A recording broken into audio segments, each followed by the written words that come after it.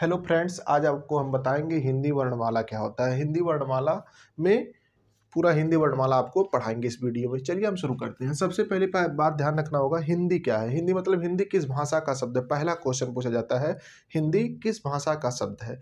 तो आप बताएँगे हिंदी जो हमारा है फारसी भाषा का शब्द है। ये चीज़ आपको ध्यान रखना होगा। फिर पूछा जाएगा हिंदी दिवस कब मनाया जाता है? तो ध्यान रखिएगा चौदह सितंबर को हिंदी दिवस मनाया जाता है। विश्व हिंदी दिवस कब मनाया जाता है? दस जनवरी को विश्व हिंदी दिवस मनाया जाता है। ध्यान रखिएगा आपको ऑप्शन में दे देगा कि विश्व हिंदी दिवस कब मनाया जाता है? ग्यारह जनवरी बारह फरवरी, दस जनवरी तो आपको किस पर टिक लगाना है? दस जनवरी पर। अब पूछेगा कि हिंदी का सही क्रम क्या होता है? हिंदी किस क्रम मतलब सही क्रम में व्यवस्थित लिखा जाता है? तो सबसे पहले आप ध्यान रखिएगा कि सबसे पहले हम संस्कृत लिखते हैं। क्या लिखते हैं? संस्कृत। संस्कृत के बाद पाल लिखते हैं। पाल के बाद क्या आता है? प्राकृत। प्राकृत के बाद अभ्रंश और अवहट अभ्रंश और अवहट दोनों एक ही है, ठीक है? इसके बाद हिंदी। ठीक, पहले क्या आएगा? संस्कृत। संस्कृत के बाद पाली पाली के बाद प्राकृत प्राकृत के बाद अभ्रंश अभ्रंश के बाद अवहट अवहट के बाद हिंदी। ये हिंदी का सही क्रम होता है। अब देखिए, हिंदी वर्णमाला। अब हिंदी वर्णमाला में कुल टोटल जो वर्ण होते हैं, हमारे बावन होते हैं। कितने होते हैं? बावन वर्ण होते हैं। इसके बाद वर्णमाला किसे कहते हैं? ध्यान रखिएगा कि वर्णमाला क्या होता है? वर्णों के समुदाय को। मतलब अच्छा देखो, वर्ण और अक्षर एक ही होते हैं। ध्यान रखिएगा। वर्ण और अक्षर दोनों एक ही है।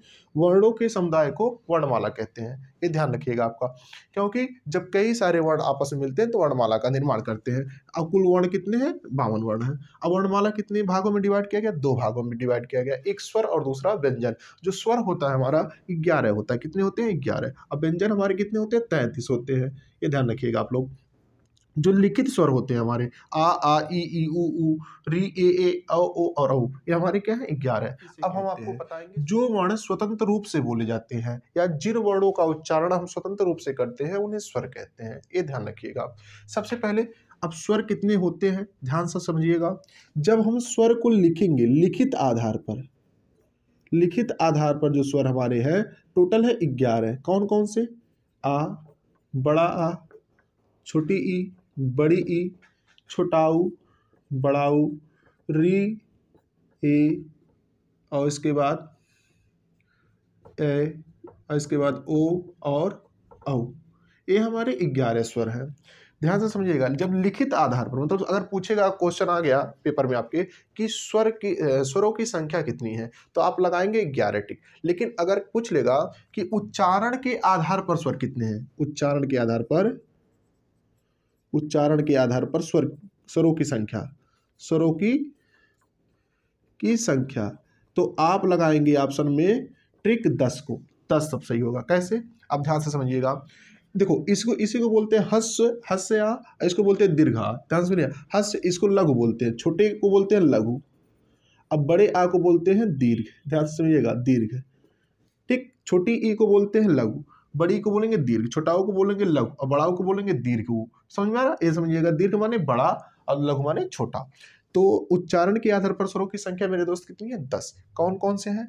देखिएगा, यहाँ जो री होता है, यहाँ जो ग्यारह में है, जो री होता है इन नहीं होता है उच्चारण के आधार पर। आप पूछोगे कौन सा री नहीं होता है? ध्यान से समझिएगा, जो री हमारा है, री किससे मिलकर बना है? अधर और ई से मिलकर बना है। लेकिन जब हम री को लिखते तो ज़रूर है, लेकिन हम बोलते नहीं है, उच्चारण नहीं करते हैं। जैसे हम कहते हैं पृष्ठ तो पृष्ठ में देखिएगा री का मात्रा है, ठीक? पृष्ठ में हमने तो लिख तो दिया पृष्ठ, लेकिन क्या है? इसमें री लिख रहे हैं, लेकिन इसको उच्चारित नहीं कर रहे हैं। जैसे हम कह दिए पृथ्वी पृथ्वी बोल तो रहे हैं, लेकिन हम री लिख रहे हैं, लेकिन इसको उच्चारण नहीं कर रहे हैं। जैसे हम कह दिए सृष्टि तो सृष्टि में क्या है? री लिख तो रहे हैं लेकिन हम इसका उच्चारण नहीं कर रहे हैं। इसलिए उच्चारण के आधार पर जो हमारा स्वर होता है दस होते हैं। ये चीज़ आपको ध्यान रखना होगा। ठीक बहुत सारे ऐसे एग्ज़ाम्पल है जैसे वृक्ष हो गया।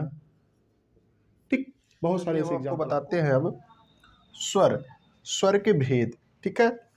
स्वर का भेद क्या होता है? ध्यान से समझिएगा। जो स्वर हमारे हैं स्वर लिखित आधार पर ग्यारह बताए हैं। अब स्वर के भेद अब इसके जो भेद है, मुख्य रूप से तीन भेद हैं, पहली बात ध्यान से पहला होता है हस्व स्वर।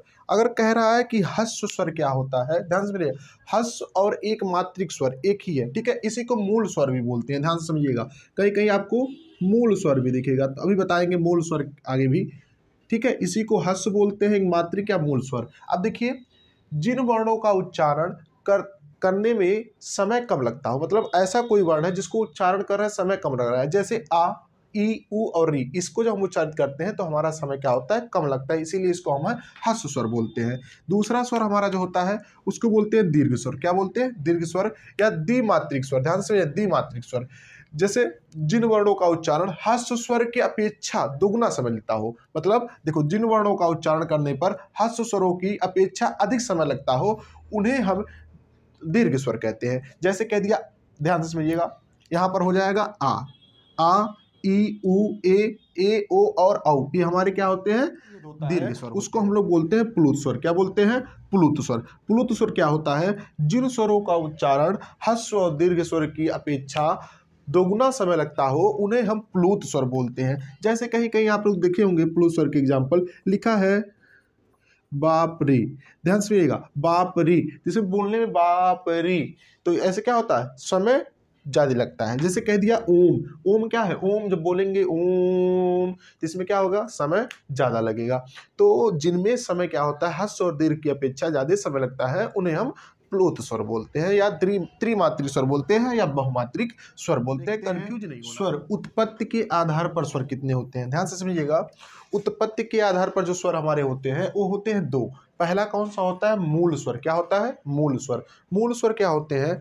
ध्यान से समझिएगा। जैसे कह दिए, जो वर्ण एक खंड के योग से मिलकर बनते हैं, उन्हें हम मूल स्वर कहते हैं। जैसे आ ई उ और री, ये हमारे क्या है? मूल स्वर है, ठीक है?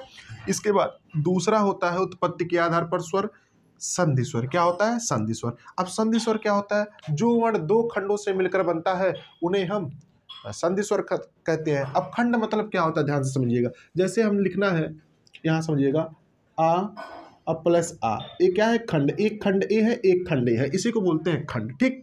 जो दो खंडों से मिलकर बनता है, जो दो विभिन्न खंडों से मिलकर बनता है, उन्हें हम क्या कहते हैं? संधि कहते हैं। देखिए, संधि में क्या होता है? एक समान एक समान जाति के खंड होते हैं, एक अन्य जाति के खंड होते हैं। तो समझिएगा, संधि स्वर क्या है? संधि स्वर दो प्रकार के होते हैं। कितने प्रकार के? दो प्रकार के। पहला हमारा होता है सजाती स्वर। क्या होता है? सजाती स्वर। सजाती स्वर में क्या होते हैं? सजाती स्वर किसे कहते हैं? जो समान जाति किसे मिलकर मिलकर बनते हैं उन्हें हम सजाती स्वर कहते हैं। विजाति स्वर किसे कहते हैं? जो विभिन्न जातियों से मिलकर बनते हैं उन्हें हम विजाति स्वर कहते हैं। जैसे समान जाति से मिलकर क्या बनेगा? जैसे देखिए, आपका दीर्घ आ है, दीर्घ ई है, दीर्घ ऊ है। तो एक कैसे बना होगा? एक खंड ए है, समान जाति से दोनों है? ध्यान से समझिएगा। आ आ मिलकर बड़ा आ बना। ई और ई से मिलकर क्या बना? बड़ी ई बना। ऊ और प्लस ऊ से मिलकर क्या बना? बड़ा ऊ बना। तो ये देखिए, समान जाति के हैं। क्या है? ये समान जाति। समान जाति से मिलकर क्या बन, जो बनता है, वर्ण, उसे हम सजाति स्वर कहते हैं। दूसरा है हमारा विजाति स्वर, जो विभिन्न जातियों से मिलकर बनता हो। ध्यान से समझिएगा। जैसे हम कहते हैं ए तो ए जो हमारा है, वो विभिन्न जातियों से मिलकर बना है। जैसे ए ए बना होगा कैसे? आ प्लस ई से। आ प्लस ई से मिलकर बना होगा। ये ध्यान रखिएगा। तो देखिए, एक इसका अलग जाति है, और इसका अलग जाति है। इसीलिए ए बी जाति हो गया। जैसे ए आपका ए बना होगा तो आ प्लस ए से मिलकर बना है, ठीक? जैसे आपका ओ बना होगा तो किससे बना होगा? आ प्लस ऊ से मिलकर बना है। आ प्लस ऊ से मिलकर बना है। विभिन्न जाति के दोनों हैं। जैसे आपका औ बना होगा तो आ प्लस ओ से मिलकर बना होगा। तो ये देखिए, यहाँ पर क्या है, विभिन्न जातियों से मिलकर जो वर्ण बनते हैं, उन्हें हम विजाति स्वर कहते हैं। अगर पूछेगा, सजाति स्वरों की संख्या कितनी है तो तीन है। अगर पूछता है पेपर में विजाति स्वरों की संख्या कितने है तो चार है। पर कभी कभी पेपर में आपसे पूछ लेगा कि जीवा के आधार पर स्वर कितने प्रकार के होते हैं तो आपके ऑप्शन में दे देगा। जैसे दो, तीन, चार, पाँच, ऐसे दे देगा। तो आपको टिक लगाना है किस पे? तीन पर। किस पे? जीवा के आधार पर जो स्वर होते हैं हमारे तीन होते हैं, जब जीव से हम बोलते हैं तो स्वर देखिएगा, ध्यान से समझिएगा। पहला होता है अग्र स्वर अग्र मतलब जैसे ध्यान से समझिएगा, जो आपका जीव होता है, कुछ इस आकार का होता है। तो जीव का जो इसको भाग बोलते हैं, इसको बोलते हैं अग्रभाग क्या बोलते हैं? अग्रभाग ध्यान से समझिएगा अग्रभाग ठीक ए वाला जो भाग है, इसको बोलते हैं पश्च भाग। क्या बोलते हैं? पश्च भाग। आइए जो बीच में होता है, इसको हम बोलते हैं मध्य भाग। क्या बोलते हैं? मध्य भाग। तो जब हम जीव बोलते हैं तो हमारा जब हम कोई अक्षर बोलते हैं तो जीव का कंपन होता है। उस कंपन के अकॉर्डिंग इस वर्णों को रखा गया है, अग्र, मध्य और पश्चिमी। देखिएगा, पहला होता है अग्रस्वर। अग्रस्वर में क्या है मेरे दोस्त? जिन स्वरों का उच्चारण जीव का अग्र भाग कार्यरत होता है। मतलब जीव का अगला भाग जो एक काम करता है उसी को बोलते हैं अग्रस्वर। जैसे ई ई, ए और ए, इसमें क्या होता है? हमारा जीव का अगला भाग कार्यरत रहता है। ध्यान से समझिएगा ई और ए, ठीक? ए हमारा, इसमें लघु ई और दीर्घ ई। लघु ए और दीर्घ ए। ध्यान से समझिएगा, ठीक? इसके बाद क्या होता है? मध्य स्वर। क्या होता है? मध्य स्वर। मध्य स्वरों में क्या होता है? जिन स्वरों का उच्चारण जीव का मध्य भाग कार्यरत रहता है। क्या रहता है? मध्य भाग कार्यरत रहता है। उसे हम मध्य स्वर कहते हैं। जैसे आ, क्या है? आ जब बोलते हैं हमारे जीव का बीच वाला भाग ये वाला भाग कार्यरत में होता है, ठीक?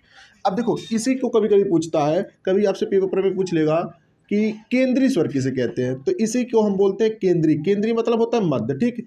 कह देगा उदासीन स्वर क्या होता है? उदासीन। उदासीन, इसी को हम लोग बोलते हैं उदासीन स्वर, ठीक? मध्य स्वर को ही हम लोग बोलते हैं केंद्रीय स्वर या उदासीन स्वर। तो ये चीज़ आपको ध्यान रखना होगा। पेपर में आपको किसी भी प्रकार से घुमा फिरा के पूछ ही लेता है। चलिए इधर देखिए तीसरा होता है पश्च स्वर। क्या होता है? पश्च स्वर। पश्च स्वर में हमें ध्यान रखना होगा जिन स्वरों का उच्चारण जीव के पिछले भाग से होता है मतलब यहाँ से होता है यहाँ से तो उसे हम कहते हैं पश्च स्वर कहते हैं। जैसे आ उ उ ओ औ ये क्या होते हैं हमारे? ओष्ठ के आधार या उच्चारण के आधार पर स्वर कितने प्रकार के होते हैं? ओष्ठ और ओष्ठ मतलब ओट के आधार पर। ओट के आधार पर हमारे जो स्वर होते हैं, दो होते हैं। ध्यान से समझिएगा। ये पहला है आवृत्त मुखी देखिएगा, इसमें दिखा आ और वृत्त। मतलब वृत्त माने क्या होता है? ध्यान से आप पढ़े होंगे मैथ वृत्त माने होता है गोला। क्या होता है? गोला। और इसके आगे आ लग गया मतलब गोला नहीं होगा। ध्यान से सुनिएगा आवृत्तमुखी मतलब जिसमें हमारा ओठ गोल नहीं होता, जिन वर्णों को बोलने में, उसे आवृत्तमुखी स्वर कहते हैं। देखिए, इसका डिफिनेशन आपके सामने लिखवा दिए हैं। जिन स्वरों का उच्चारण में ओठ गोलाकार अथवा वृत्तमुखी नहीं होते हैं, उन्हें आवृत्तमुखी स्वर कहते हैं। ठीक? जैसे आ आ, ई ई, ए और ए इस, इन वर्णों को अगर हम बोलते हैं तो इसमें हमारा ओठ क्या होता है? गोल नहीं होता है। ये चीज़ आप ध्यान रखिएगा। दूसरा जो इसका प्रकार होता है आपका, वृत्तमुखी स्वर। वृत्त माने आप जानते हैं क्या होता है? वृत्त माने बताए, गोला होता है। मतलब जिनमें, जिन वर्णों को बोलते समय हमारा ओठ गोल हो जाता है, उसे हम वृत्तमुखी स्वर कहते हैं। इसके नाम में ही इसका गुण छिपा हुआ है। जैसे हम बोले उ उ ओ और औ। इनको बोलेंगे तो हमारा क्या होगा? ओट गोल होगा। बाकी आपके सामने डिफिनेशन हम लिख दिए हैं। जिन स्वरों के उच्चारण में ओठ गोलाकार अथवा वृत्तमुखी होते हैं, उन्हें वृत्तमुखी स्वर कहते हैं, ठीक? ओठ के आधार पर हमारे स्वर दो होते हैं आवृतमुखी और वृत्तमुखी। आवृत माने जिसमें आ लग गया, वृत्त के पहले आ लग गया मतलब वृत्त नहीं बनेगा, गोल ओठ नहीं होगा। अब लग गया मतलब ओठ हमारा गोल होगा। ये चीज़ आप ध्यान रखेंगे। इसके बाद कभी कभी आपसे प्रश्न पूछता है कि मात्रा के आधार पर स्वर कितने होते हैं? मात्रा के आधार पर स्वर आपके दो होते हैं। पहला होता है आपका हस्व और दूसरा आपका होता है दीर्घ। हस्व को हम लोग बोलते हैं लघु मतलब छोटा, जैसे आ, ई, उ और री हमारे क्या है?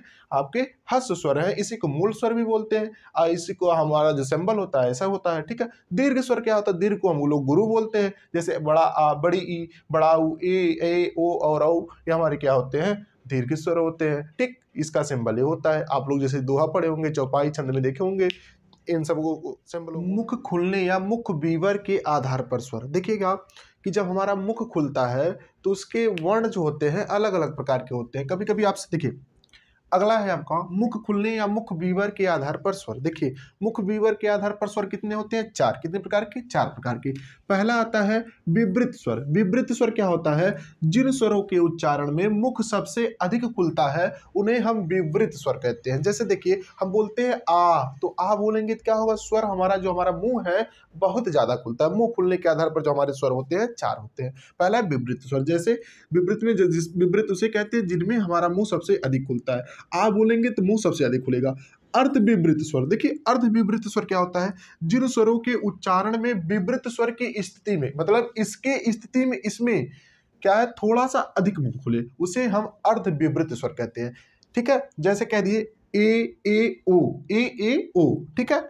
जैसे तीसरा नंबर आपका है समृद्ध स्वर। समृद्ध स्वर क्या होता है? जिन स्वरों के उच्चारण में मुख बंद रहता है, उन्हें हम समृद्ध स्वर कहते हैं। जैसे हम कह दें ई ई, उ और उ, ठीक है? इसके लिए शॉर्ट ट्रिक आप लिख सकते हैं, उई। उई मतलब इसमें उ भी, उ जब बोलेंगे और ई बोलेंगे तो हमारा क्या होगा? मुँह बंद रहेगा। इसको हम बोलेंगे समृद्ध स्वर, ठीक है? समृद्ध स्वर के बाद चौथा नंबर जो आपका आता है, अर्ध समृद्ध स्वर। अर्ध समृद्ध स्वर किसे कहते हैं? जिन स्वरों के उच्चारण में मुख समृद्ध की स्थिति में थोड़ा सा खुलता है मतलब इसके स्थिति में थोड़ा सा खुलेगा और इसके स्थिति में ये थोड़ा सा खुलेगा, ये चीज़ आपको ध्यान में रखना होगा। उधे उसे अर्ध समृद्ध स्वर कहते हैं, जैसे ए और ओ, ए और ओ को बोलते हैं साठ में, ओए, ठीक? ये चीज़ आप ध्यान रखें, रखेंगे। पहला चीज़ क्या ध्यान रखेंगे कि मुख खुलने के आधार पर या मुख विवर के आधार पर जो हमारे स्वर होते हैं, चार होते हैं। पहला जो हमारा होता है, विवृत स्वर होता है। विवृत मतलब जिसमें हमारा मुँह सबसे अधिक खुलता है, उसे हम विवृत करते हैं। जैसे कि आ, दूसरा होता है अर्ध अर्ध विवृत स्वर, जिसमें क्या होता है, विवृत की अपेक्षा थोड़ा सा मुख खुलता है, उसे हम अर्ध विवृत कहते हैं। जैसे आ, ए और ओ। अब तीसरा नंबर आता है आपका समृद्ध स्वर। समृद्ध स्वर में क्या होता है, हमारा मुख बंद रहता है। जैसे कि उई मतलब ई ई और उ और उ। ठीक तीसरा चौथा नंबर आपका होता है अर्ध समृद्ध स्वर जिन स्वरों में समृद्ध के अपेक्षा थोड़ा सा मुख खुलता है उसे हम अर्ध समृद्ध स्वर कहते हैं। इसमें ए और ओ जैसे ओ कह सकते हो सर देख लेते हैं कुछ वन लाइनर प्रश्न है जो आपके एग्ज़ाम में सबसे ज़्यादा पूछे जाते हैं। देखिए, प्राकृतिक स्वर पूछता है कभी कभी तो आप ध्यान रखेंगे, आ, ई और उ हमारे क्या होते हैं? प्राकृतिक स्वर होते हैं। कभी कभी आपसे पूछता है कि अर्ध स्वर किसे कहते हैं संघर्षहीन स्वर किसे कहते हैं? ध्यान रखिएगा, ये जो या और वह होते हैं, इसको हम लोग संघर्षहीन स्वर बोलते हैं या अर्ध स्वर बोलते हैं, ठीक है? एक इसके अकॉर्डिंग होता है? डॉक्टर भोलानाथ तिवारी के अनुसार ये क्या है हमारा? संघर्षहीन स्वर है, ठीक? जैसे कंठ स्वर क्या होता है? आ और आ क्या होता है? कंठ। कंठ माने नीचे से, ध्यान से कंठ माने नीचे से। आ और आ किसे बोलते हैं? कंठ से बोलते हैं। कंठ से ऊपर तालु होता है। क्या होता है? तालु। तब ई और ई किसमें आ जाएँगे? तालु में आएँगे। जो री होता है, री जब बोलेंगे तो हमारा जो बीच, जीव के बीच वाला भाग कंपन करता है, उसे हम री बोलते हैं, उसे मूर्धन स्वर बोलते हैं। और इसके बाद आता है आपका मुँह के बाद, आपका आता है ओष्ट ओष्ट स्वर क्या आता है? ऊ और ऊ क्या होते हैं? ओष्ट स्वर होते हैं। ठीक? इसके बाद कंठ ओष्टी स्वर। ध्यान से समझिए, कंठ ओष्टी स्वर। इसको हम ओ और औ को हम बोलते हैं कंठ ओष्टिसर। इसके बाद कंठ तालु स्वर किसे कहते हैं? ए और ए को हम बोलते हैं कंठ तालु स्वर बोलते हैं। उदासीन स्वर अभी अब आपको बताए हैं। आ होता है इसी को केंद्रीय स्वर बोलते हैं। क्या बोलते हैं? आपके वन लाइनर प्रश्न में यहाँ पर आपका स्वर होता है समाप्त। अब हम आपको चलते हैं व्यंजन की तरफ़। व्यंजन क्या होता है? व्यंजन किसे कहते हैं? व्यंजन के प्रकार क्या होते हैं? ठीक है? कंठ कंठी व्यंजन क्या होता है? तालुई व्यंजन क्या होता है? सब मूर्धन व्यंजन क्या होता है? ओष्ट और दंत व्यंजन क्या होता है? सब आपको अब व्यंजन देखिए। व्यंजन जो हमारा होता है टोटल व्यंजनों की जो संख्या है, तैंतीस है। कितनी है? तैंतीस है। देखिए, जो वर्ण स्वरों की सहायता को लेकर बोले जाते हैं, बोले जाते हैं, उन्हें हम व्यंजन कहते हैं। इधर देखिए, जैसे हम कह दें कै तो कै कैसे बना होगा? ध्यान से समझिएगा। कै, जो कै के निके हलंत लगा दे तो आधा कै। इसमें मतलब स्वर क्या हो गया? निकल गया, स्वर रहित और। इन्हीं से मिलकर तो ये बना होगा कै। तो ये जो है कै के नीचे हलंत लग गया, इसको बोलते हैं स्वर रहित क्या बोलते हैं? स्वर रहित स्वर रहित व्यंजन। क्या बोलते हैं? स्वर रहित व्यंजन। ये हो गया। ठीक। अब ध्यान रखिएगा। तो मतलब जिन वर्णों का उच्चारण हम स्वरों की सहायता से बोलते हैं, उन्हें हम व्यंजन कहते हैं। ठीक। आया समझ में? व्यंजन कितने प्रकार के होते हैं? मुख्य रूप से तीन प्रकार के होते हैं। ठीक। व्यंजन जो भेद है व्यंजनों का तीन भेद है। पहला जो आपका है स्पर्श व्यंजन क्या है? स्पर्श व्यंजन स्पर्श व्यंजन में कुल वर्ण कितने हैं? पच्चीस वर्ण है। कितने वर्ण है? पच्चीस वर्ण है। जिन वर्णों का उच्चारण हमारे शरीर के अंगों से स्पर्श होकर, छूकर होता है, उन्हें स्पर्श व्यंजन कहते हैं। क्या कहते हैं? स्पर्श व्यंजन कहते हैं। जैसे, देखिए, पहला आपका है, पहला ध्यान से समझिएगा कै वर्ग। कै वर्ग को बोलते हैं कंठी व्यंजन क्या बोलते हैं? कंठी व्यंजन ध्यान समझिएगा क, ख ग, अंगड। ये हमारे क्या है? कंठी व्यंजन है, ठीक? दूसरा है चय वर्ग, इसको क्या बोलेंगे? चय वर्ग। चय वर्ग को जैसे च, छ इसको हम बोलते हैं तालु। कंठ मतलब ये जो हमारा कंठ है, इसका कंठ के बाद क्या आएगा? तालु। तालु में क्या आएगा आपका? च, छ इसके बाद तालु से ऊपर आएँगे मुर्धा। मुर्धा मतलब जो जीव का बीच भाग होता है, उसको मूर्धा जो ऊपर टच करता है, ठीक है? जैसे ट, ठ टैबर को हम बोलते हैं मूर्धन व्यंजन। क्या बोलते हैं? मूर्धन व्यंजन। ध्यान समझिएगा, ऐसे आपको क्या करते हैं? पेपर में पूछ लेता है कि कंठ कंठी व्यंजन क्या है? ऐसे दे देगा ऑप्शन में का, ख ऐसे कुछ दे देगा, ठीक है? इसके बाद तीसरा नंबर चौथा नंबर आपका है तय वर्ग तय वर्ग में क्या होता है? इसको बोलते हैं दंती व्यंजन दांत से बोले जाते हैं। कहाँ से बोले जाते हैं? दांत से। त, थ, द, ध, न। दंती व्यंजन दांत से बोली जाती है। अब आपका पचवा आता है, प, फ, भ भ, म। मतलब प वर्ग जो होता है ओठ से बोला जाता है। अब देखिए, इसका मतलब समझिए। कंठ माने जो कंठ से आवाज़ निकलता है, उसको कंठी व्यंजन बोलते हैं। जैसे हम क, ख, ग ग बोलते हैं तो हमारे कंठ से निकल रहा है। तालु मतलब जो कंठ से ऊपर जो तालु होता है, वहाँ से जब कोई व्यंजन निकलता है, उसको बोलते हैं तालु व्यंजन। छह वर्ग को हम बोलते हैं तालु व्यंजन। एक वर्ग में कुल कितने वर्ण होते हैं? पाँच वर्ण होते हैं। तो टोटल कितने वर्ग है? पाँच वर्ग है तो हमारे कुल कितने व्यंजन वर्ण हो गए? आपके पच्चीस। ठीक है? ये हमारे स्पर्श व्यंजन में कितने वर्ण होते हैं? पच्चीस वर्ण मतलब पच्चीस अक्षर होते हैं। ठीक? इसके बाद देखिए मूर्धा क्या होता है? जीभ के बीच वाला भाग होता है, उसको मुर्धा बोलते हैं। ट ड क्या होते हैं? मूर्धा के पार्ट होते हैं। इधर देखो तय वर्ग क्या होता है? दंती, ये दांत से निकलते हैं। किससे निकलते हैं? दांत से निकलते हैं। त, थ द ध, न, ये दांत से निकलेंगे। इसके बाद पै वर्ग कहाँ निकलेगा? ओट से निकलेगा। जैसे प, फ, ब, भ, म, ये हमारे क्या होते हैं? ओट से निकलते हैं ओष्टी कहलाते हैं। इसके बाद देखिए, दूसरा जो प्रकार इसका है उष्म व्यंजन क्या है? उष्म व्यंजन उष्म व्यंजन क्या होते हैं? ऐसा अक्षर, जिसको बोलते समय मुख और नाक से गर्म वायु मतलब गर्म हवा निकलती है, उसको हम बोलते हैं उसमें। जैसे स स स, है, इसमें क्या बोलेंगे तो मुँह से और नाक से दोनों से क्या निकलेगा? गर्म हवा निकलेगा। इसके बाद आपका आता है, आप कभी कभी पेपर में पूछ लेता है, ये बताइए, उस व्यंजनों की संख्या कितनी होती है? तो आपको क्या ट्रिक लगाना है? चार। इसके बाद अंथस्थ व्यंजन क्या होता है? अंथस्थ व्यंजन में मुख और नाक से वायु बाहर निकलती है, उसे हम अंतस्थ व्यंजन कहते हैं। यार, लव, ये हमारे चार अंतस्थ व्यंजन होते हैं। चार उस व्यंजन, चार अंतस्थ व्यंजन होते हैं। अब देखिए, कुछ और भी व्यंजन होते हैं, जैसे संयुक्त व्यंजन। अब अभी आपको हम स्वर में पढ़ाए हैं, संयुक्त स्वर, ठीक है? चलिए बताइए कमेंट करके संयुक्त स्वर क्या होता है? संयुक्त व्यंजन और संयुक्त स्वर में अंतर बताए आपको। देखिए, संयुक्त स्वर संयुक्त व्यंजन जो आपका होता है छ्र त्र ग और श्रय होता है। जो छ्र होता है, क और स से मिलकर बनता है। ये जो क है, इसको स्वर रहित कहते हैं। क्या कहते हैं? स्वर रहित है। त्र जो है त्र और र से मिलकर बनता है। त्र क्या है? स्वर रहित है। ठीक है? अज्ञ जो मिलता है, जय जय मतलब जय आपका क्या है? स्वर रहित है अंग इसके बाद श्रय क्या होता है? आधा श्रय मतलब स्वर रहित श्रय और र से मिलकर बनता है। ध्यान समझे? इसके बाद होता है अयोग वाह अयोग वाह अयोग वाह व्यंजन जो होता है देखिए इसमें दो होता है। कितने होते हैं? दो। अंग और आह ये हमारे क्या है? अंग मतलब अनुसार है, अंग मतलब विसर्ग है। इसके बाद क्या आता है? उच्छिप्त, विक्षिप्त को कभी कभी पूछता है, उच्छिप्त व्यंजन किसे कहते हैं या द्विगुण व्यंजन?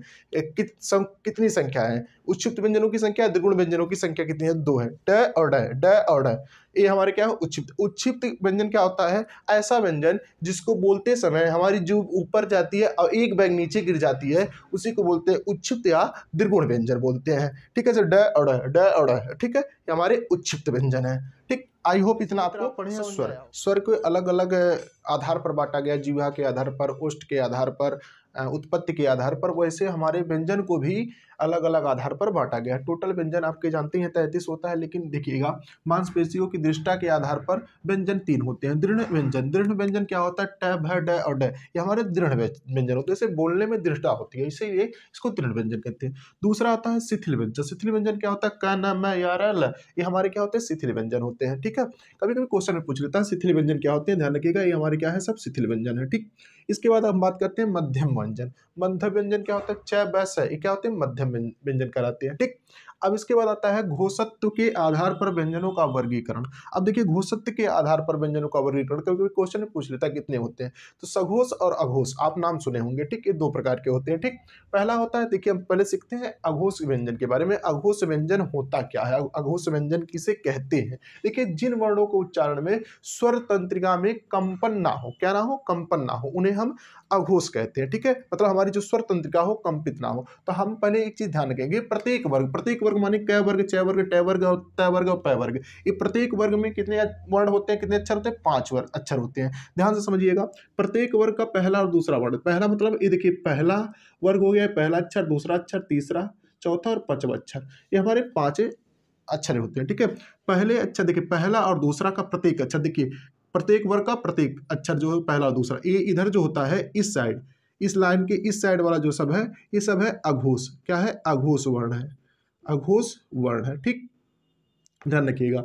इधर जो तीसरा, चौथा और पांचवा क्या होता है? इसको सघोष वर्ण बोलते हैं। क्या बोलते हैं? सघोष वर्ण या सघोष व्यंजन बोलते हैं। आया समझ में ठीक? अब देखिए, एक चीज़ और होता है, इसमें नुक्ता वाला फय होता है, नुक्ता फय नुक्ता फय भी क्या होता है? अघोष व्यंजन होता है। ठीक? अगर नुक्ता जय पूछेगा तो सघोष व्यंजन होता है। अभी आपको बताते हैं, ठीक है? सघोष। तो ध्यान से अगर कभी भी क्वेश्चन पूछता है, ये जो नुक्ता कै होता है, नुक्ता जो जय होता है, ये किसकी देन है? तो आप कह सकते हैं राजा श्री प्रसाद सितारे हिंद की देन है, जिसमें हम नुक्ता, जय और फय सब पढ़ते हैं, ठीक? इसके बाद मित्र बात करते हैं, घोष क्या होता है? या घोष को हम लोग बोलते हैं सघोष व्यंजन। क्या बोलते हैं? सघोष व्यंजन। जिन वर्णों के उच्चारण में स्वर तंत्रिका में कंपन हो, उन्हें सघोष व्यंजन कहते हैं, ठीक? जैसे देखिए, प्रत्येक वर्ग का तीसरा तीसरा चौथा और पचवा, और सभी स्वर, कितने स्वर हैं? ग्यारह स्वर। ठीक द्विगुण व्यंजन दो होते हैं, ड और ढ भी बताए हैं आपको। इसके बाद चार अंतस्थ, ग्यारह लव, अभी बताए हैं, ठीक? इसके बाद है और जय ये हमारे क्या होते हैं? सघोष व्यंजन होते हैं। तो आप अगर एक बार याद कर लेते हैं, पूरा वर्ग याद कर लेते हैं, कख गंगा चच तो आपको सघोष सघोष आराम से याद हो जाएगा। पहला और दूसरा क्या होता है? अघोष होता है, उसका तीसरा, चौथा और पांचवा क्या होता है? सघोष होता है, आपको आराम से याद हो जाएगा। जैसे कै वर्ग का ग, घ, ड, ये क्या होते हैं? सघोष होते हैं। च का ज, झ इया क्या होते हैं? सघोष होते हैं। ट का ड, ढ, अण, ये क्या होते हैं? सघोष होते हैं। द का द, ध, न, ये क्या होते हैं? सघोष होते हैं। प का ब, भ, म, ये क्या होते हैं? सघोष होते हैं। ठीक? जितने स्वर होते हैं, आप जो स्वर ग्यारह, स्वर है, आ, ई, उ ये सब क्या होते हैं हमारे? सघोष व्यंजनों। सघोष में आएँगे। ठीक? इसके बाद द्रिगुण में जो द्रिगुण डढ़ है, ये भी क्या होंगे? सघोष होंगे। अंतस्थ यार अलव है ये भी क्या होंगे? आपके सघोष व्यंजन में आएँगे ठीक? अह और नुक्ता वाला जय। ये क्या होते हैं हमारे? सघोष व्यंजन के प्रकार। प्राणत्व के आधार पर व्यंजनों का वर्गीकरण। प्राणत्व के आधार पर व्यंजनों का वर्गीकरण दो है। पहला है ध्यान से समझिएगा अल्प प्राण व्यंजन। देखिए अल्प प्राण व्यंजन क्या होता है? ज़्यादा देखिए कंफ्यूज नहीं होना है। आपको प्रत्येक वर्ग का आपका वर्ण याद कर लेना है। जैसे व्यंजन में क वर्ग, च वर्ग, आपको पूरा याद कर लेना है। पच्चीसों वर्ण, इसके बाद आप आराम से इसको डिफाइन कर सकते हैं। जैसे देखिए मेरे दोस्त, जैसे अल्प प्राण क्या होता है? मुख और नाक से वायु निकले। मतलब मुख और नाक से दोनों हवा, दोनों से हवा निकलता हो, उसको हम बोलते हैं अल्प प्राण प्रत्येक वर्ग का, देखिए प्रत्येक वर्ग लिखवाए है ना आपको अभी पहले लिखवाए थे प्रत्येक वर्ग का पहला, तीसरा और पांचवा। पहला, तीसरा और पांचवा और अंतस्थ व्यंजन, यार चारों। और सभी स्वर, ग्यारह स्वर और ड, ये क्या होते हैं हमारे? सभी अल्प प्राण होते हैं। अल्प प्राणों की जो संख्या होती है, कुल टोटल कितने होते हैं? इकतीस। कभी कभी क्वेश्चन पूछ लेता है आपसे कि चलिए बताइए कि अल्प प्राणों की अक्षरों की संख्या या वर्णों की संख्या कितनी होती है? आपको ऑप्शन में दे देगा तो आपको टिक लगाना है इकतीस पर। ध्यान रखिएगा। इकतीस कैसी में ध्यान से समझिएगा। प्रत्येक वर्ग का पहला, तीसरा और पांचवा। देखिए, पहला, तीसरा, देखो, पहला, तीसरा कै वर्ग का क, ग ग अड पहला ये हुआ पहला, तीसरा और पांचवा, ठीक? इसके बाद छः वर्ग का छः छः यहाँ, ये तीन दिखे, अब इसको गिनेंगे तो तीन और कितना वर्ग है? पाँच। तीन पाँच पंद्रह ए हो गए, पंद्रह वर्ड ए हो गए, चार ए हो गए, पंद्रह, चार, उन्नीस। उन्नीस और ग्यारह सौ तो उन्नीस और ग्यारह क्या हो गए? तीस। और तीस एक, इकतीस। इकतीस हमारे वर्ड हो गए, ठीक है? ये ध्यान रखिएगा, इसका स्क्रीनशॉट आप ले लीजिएगा। इसके बाद देखिए, महाप्राण क्या होता है? महाप्राण व्यंजन क्या होता है? जिसमें मुख और नाक से समान मात्रा में वायु निकले मतलब हवा निकले उसको हम कहते हैं महाप्राण। महाप्राण में ध्यान रखिए प्रत्येक वर्ग का दूसरा। इसमें देखिए इसमें क्या है? पहला तीसरा और पांचवा तो बच क्या रहा है? दूसरा और चौथा बच रहा है। जो दू, दूसरा और चौथा बच रहा है उसी को हम बोलते हैं महाप्राण। क्या बोलते हैं? महाप्राण। इसमें उस व्यंजन आते हैं। उस व्यंजन कितने अभी आपको बताए? हैं चार होते हैं। कौन से? स स स है ठीक? और इसके बाद ड। देखिए इनकी जो संख्या होती है पंद्रह होते हैं। टोटल कितने होते हैं? पंद्रह। तो गिनिएगा देखिएगा इधर। क वर्ग का ख और घ, च वर्ग छ और झ, ट वर्ग ड, ढ, त वर्ग थ न, प वर्ग फ अब है इसको गिनेंगे आपको, दो दो, चार, दो छः दो, आठ, दो, दस। दस यहाँ हो गए, दस, चार, चौदह। चौदह एक ये हमारा क्या हो गया, पंद्रह। कुल कितने पॉइंट है इसमें? पंद्रह। पूछेगा महाप्राणों, महाप्राण में व्यंजनों की संख्या कितनी होती है? तो व्यंजनों की संख्या कितनी होती है? पंद्रह कह देंगे। ठीक? ये ध्यान रखिएगा। अब कुछ ऐसे हैं जो वन लाइनर है। वन लाइनर आप याद कर लेंगे तो आपके एग्ज़ाम में बहुत ज़्यादा फ़ायदा करेगा। जैसे कंठ कंठ व्यंजन किसे कहते हैं? अह और अह। अह अह। ठीक, तालु व्यंजन किसे कहते हैं? स और य को तालु व्यंजन कहते हैं। मूर्धन व्यंजन किसे कहते हैं? ड, ढ, र, स। ठीक, इसको मूर्धन व्यंजन कहते हैं। दंती व्यंजन किसे कहते हैं? ल, स, ज। इसको दंती व्यंजन कहते हैं। स्वर तंत्री व्यंजन किसे कहते हैं? है को स्वर तंत्री व्यंजन कहते हैं। ठीक है? दंतोष्ट व्यंजन किसे कहते हैं? वह को दंतोष्ट व्यंजन कहते हैं। दंत देखो, दांत और ओष्ट से दोनों से निकलता है, इसलिए दंतोष्ट व्यंजन इसको कहते हैं। प्रकंपित। प्रकंपित मतलब होता है, जिसमें क्या होता है, हमारा जीव सबसे ज़्यादा प्रकंपन करता है, उसको प्रकंपित व्यंजन कहते हैं, रह केवल होता है, ठीक है? पार्श्विक व्यंजन क्या होता है, लय को पार्श्विक व्यंजन कहते हैं, ठीक? इसके बाद स्पर्श संघर्षी। स्पर्श संघर्षी क्या होती है, जो जीव को रगड़ की जाती है, ठीक है? जैसे च, छ, ज, झ, ठीक है? इसके बाद संघर्षी क्या होता है, फ, स, ह, ज, स, ये क्या होते हैं हमारे? संघर्षी व्यंजन होते हैं। तो यहाँ पर आपका व्यंजन होता है समाप्त। अब आपको सीरीज़ लेकर आएँगे, इनके ऊपर क्वेश्चन आपका कराएँगे। तब तक आप वीडियो को लाइक कर दीजिए, अपने दोस्तों में अधिक से अधिक इस वीडियो को शेयर करिए। धन्यवाद।